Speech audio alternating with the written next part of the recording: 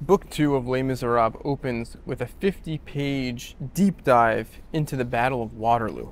And it's considered one of these like inexplicable Hugo digressions, these like flights of historical fancy that he just sort of like obsesses over and seem to some readers to sort of be a real um, sort of diversion or distraction from the plot of the book, which of course is a very exciting plot. And there's no question that book two is filled with some of the most exciting action uh, you can find anywhere. Uh, you have the book starts after the 50 pages or, or so of Waterloo with Jean Valjean escaping from prison, um, a daring escape as he uh, saves the life of a man on the ship uh, who's like dangling from the ropes. Um, and then he jumps into the sea. It's like something straight out of a spy movie. And he goes and he manages to rescue Cosette from her tormentors, the Thénardiers. And uh, there's this description of Cosette forcing, being forced to get water in the woods in the night, and she's so terrified. And the description of her childhood fear is so intense. And then in the middle of the night, while she's carrying this bucket that's heavier than her, and she's struggling and she's cold, a hand reaches down in the middle of the night and helps her carry the bucket. And of course, it's Jean Valjean who's come to rescue her. And the plot continues. They make daring escape after daring escape. The specter of Javert sort of hangs over this whole part of the story. Um, there's one amazing moment where Jean Valjean is, you know, giving money to a poor person at night on the side of the street, and as that poor person looks up and lighted by the lamp, he sees suddenly the face of Javert, you know, and this again, this this haunting that Jean Valjean is dealing with. But to return to the Battle of Waterloo, I think to understand why Hugo is so obsessed with this battle um, just requires a little bit of historical context. Maybe just to give a sense of some dates in the most um, high level bird's eye view where we stand historically speaking. So again, Les Miserables is published in 1861. Victor Hugo's living in exile. It's about the June Rebellion of 1832, 30 years earlier. And the June Rebellion was a rebellion against Louis Philippe I, a monarch, and in a way, the ideological political heir of these, this reign of monarchs that France has had ever since the Middle Ages, which takes you up from the 1500s all the way to the French Revolution of 1789. And what we see is from 1789, which is only 72 years uh, from before Les Mis was published, only about 43 years before this June Rebellion. So we're talking very small period of time. Um, this French Revolution marks this emergence of a revolutionary spirit in France, which is going to constantly reappear, constantly um, poke its head. Fitful start in the direction of democracy, in this direction of increased liberalism, increased freedoms, increased rights for man, and things like that. And so this French Revolution is a period of about 10 years, which is marked by a kind of chaos. There was, you know, the Reign of Terror. There was the execution of Louis XVI. There was a lot of beheadings, um, a lot of anarchy, a lot of lawlessness. Um, and this finally ended in 1799 when Napoleon declared himself emperor. He, you know, claims power and he represents this kind of intermediate state where he is very much an embodiment of the spirit of the revolution of the French Revolution. He is an anti-clerical figure. He's a figure who politically is against the monarch, but of course at the same time he is uh, an autocrat.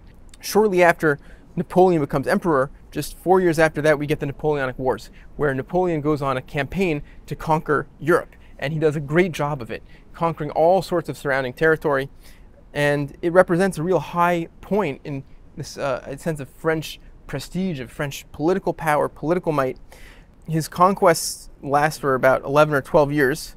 In 1814, we have the War of the Sixth Coalition, where Napoleon is defeated for the first time, and we have the Bourbon Restoration, which is a restoration of the old monarch. And again, we have these two threads, these two political historical threads, these two groups of people in France. One is represents the monarchical political system, which has uh, which is the ancient uh, power structure, which France has had since the Middle Ages, and the other is the spirit of revolution, the spirit of Napoleon, the spirit of uh, liberalizing democratic forces. An amazing thing happens after the War of the Sixth Coalition. Napoleon is exiled to this island of Elba, and he's there for a little bit less than a year, but he manages to escape. And in 1815, he arrives in Paris, and the king sends his army to go uh, detain Napoleon. And as the army arrives to meet him, Napoleon says, uh, Soldiers, are you going to kill your emperor? And the soldiers uh, give him a cheer and they join Napoleon. So now all of a sudden, Napoleon has an army. And Napoleon is back, back from exile, back from the dead in a way. And this culminates in June 1815, the Battle of Waterloo. And in the Battle of Waterloo, Napoleon is defeated a second time. And uh, then he's exiled to St. Helena. There's a Treaty of Paris and a return again of the French monarchy. This French monarchy is punctuated by revolutions. There's the French Revolution of 1830, and then there's the June Rebellion of 1832, which is the subject of our book. And so this is all just to give a very shallow sense of the kind of tumult, the kind of trauma and division that is cutting through French society at this time. And this is a political division that hangs over the entire book. To give a sense of how visceral and strong and violent these divisions are. In book three, we meet this character who is the grandfather of Marius. Marius, of course, plays a very central role in the book. He ends up falling in love with Cosette.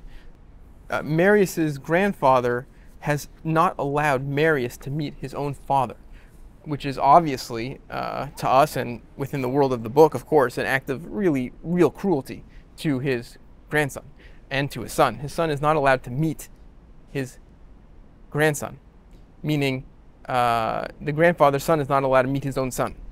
And the reason the grandfather hates his son so much is because his son was a general in Napoleon's army. And this, you know, political division cuts through his family and the, you know, there's unspeakable animosity. There's an incredible tirade uh, from Marius's grandfather, Giel, Guillaume Normand. Guillaume Normand. I'm going to mispronounce a lot of names uh, in this book, unfortunately. At this point in the book, Guillaume Normand is fuming over the fact that his grandson Marius has become a Republican, meaning his grandson Marius is no longer loyal to the monarchy. He found out about his father, that his father was a general in Napoleon's army, and he now believes in those ideals of revolution, those ideals of freedom, those ideals of, of universal human rights. And this is his grandfather's reaction to that. Quote, Why did you leave my house to go and become a Republican? Bah, in the first place, the people want nothing to do with your Republic. They want none of it. They've got common sense. They know very well there have always been kings and there always will be. They know that after all, the people are all only the people. They don't give two hoots for your Republic. Do you understand, you idiot? It's quite dreadful, this willfulness, becoming infatuated with Père Duchesne, making eyes at the guillotine, singing serenades, and playing the guitar under the balcony of 93 the balcony of 93. 93 is 1793, which is the reign of terror, which is this period of chaos. And so the grandfather, Guillaume Normand, is saying, You're romanticizing this chaos. You're romanticizing this period of, of beheadings and, and executions. He continues, They're such fools, all these young fellows. They deserve to be horsewhipped. That goes for all of them without a single exception. Breathing the air in the street is enough to drive you mad. The 19th century is poison. Take any young pipsqueak, he grows a goatee beard, thinks he's a real somebody, and turns his back on his elderly relatives. End quote. Victor Hugo plants the seeds of this political division, of this strife that cuts through French society at this time, even earlier in the book.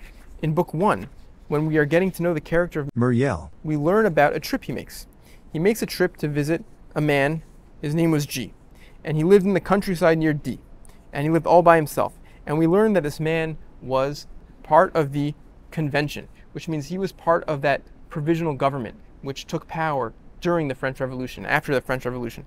And so now, now that we're living under monarchy in monarchical France, he's a real enemy of the state. He's a real enemy of the king uh, he's considered dangerous. He's considered an outcast. And even though he's shunned by society, uh, the, our bishop Myriel makes a point to visit him, and they have a discussion. So, reading from uh, book one now, quote, In the countryside near D lived a man all by himself. This man was, let us straightway utter the dread word, a former member of the convention. His name was G. In the little world of D, member of the convention G was spoken of with a kind of horror. A member of the convention, can you imagine? This man was almost a monster. He was all but a regicide. He had done terrible things. Skipping a bit, Besides, he was an atheist like all the rest of those people. End quote. And so this is the person that the Bishop Myriel sets out to visit and talk to as he's at, towards the end of his life.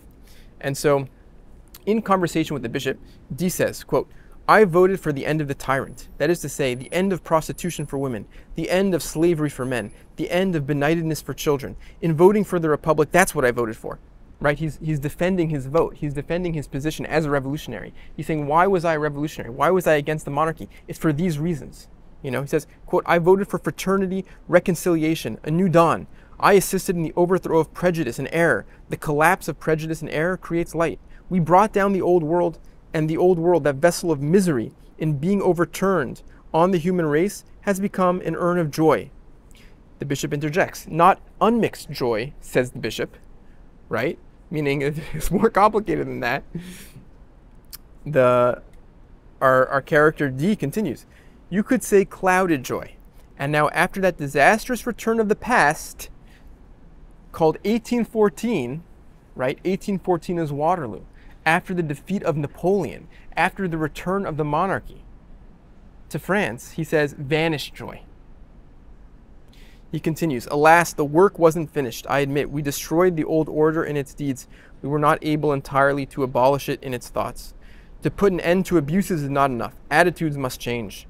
The bishop interjects, You've brought about destruction. Destruction can be useful, but I distrust destruction compounded with anger.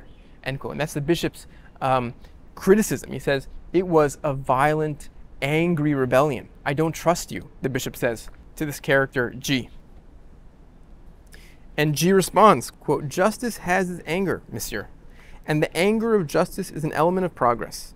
In any case, and whatever anyone may say, the French Revolution is the greatest step forward taken by the human race since the advent of Christ. Unfinished, maybe, but sublime.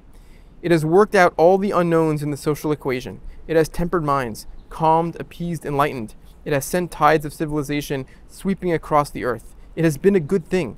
The French Revolution is the consecration of humanity. The bishop could not refrain from murmuring, Oh, yes? And 1793? 1793 is the Reign of Terror. The member of the convention strained up in his chair with almost lugubrious solemnity, and insofar as a dying man is capable of crying out, he cried out, Ah, there you are, 1793. I was expecting to hear that. A cloud gathered for 1500 years. At the end of 15 centuries, it burst, and you put that thunderbolt on trial. End quote. He describes the reign of terror as this thunderbolt bursting out, this, this pressure which is finally released, the pressure built up over years of monarchy and oppression. And that's the debate. And this is the tension that cuts through our entire book. It's the same tension that boils over into the June Revolution, which is sort of the centerpiece, the plot piece upon which the entire book hinges. And as we saw from this monologue of G, he says 1814 was a disaster. 1814 was the calamity. 1814, the, the defeat of Napoleon, was the end of this dream of freedom. And that is what Waterloo stands for. This political, historical, national catastrophe. Victor Hugo takes us to Waterloo. He looks out at the battlefield and he asks us to see what he sees, to see that field of battle and understand its significance, understand what it means today, today being in the 1830s France. He talks about the different interpretations and understandings that people have of this battle, and his point is that no one understands it. He writes, quote, "The Battle of Waterloo is an enigma. It is as obscure to those who won it as it is to those who lost it.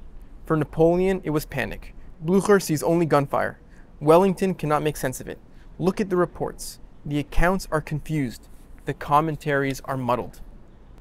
And he goes on to talk about different historians, what different historians of his time say about the Battle of Waterloo.